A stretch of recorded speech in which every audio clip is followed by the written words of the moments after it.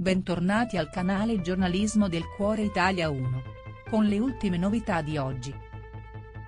Il VIP racconta a Lulu di come l'incontro con Alessia abbia cambiato la sua idea sull'amore.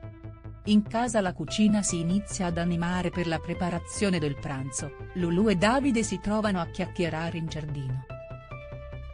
Lulu racconta al compagno d'avventura una vacanza di famiglia fatta alle Bahamas che le ha lasciato uno splendido ricordo, la conversazione si sposta poi sulla famiglia che per Lulu è molto importante e molto presente nella sua vita. I miei sanno tutto di me, gli ho sempre raccontato tutto afferma spiegando come proprio grazie alla famiglia sia riuscita a superare momenti difficili.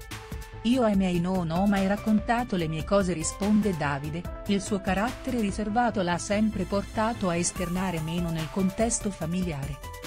Anche per il VIP però la famiglia ha un ruolo importante e il pensiero dell'attore va subito al cugino Checco con cui ha raccontato più volte di avere un legame fraterno.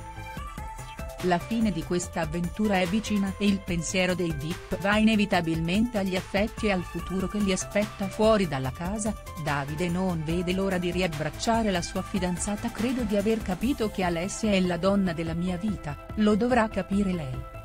Non ho mai provato una cosa così forte.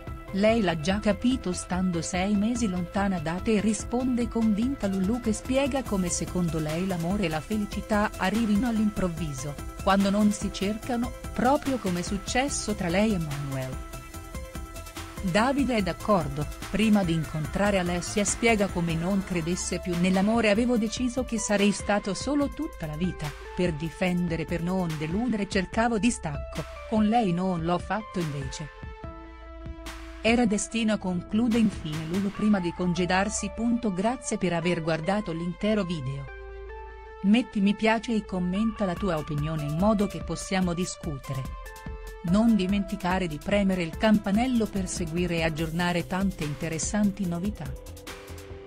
Ci vediamo nei prossimi video. Yeah.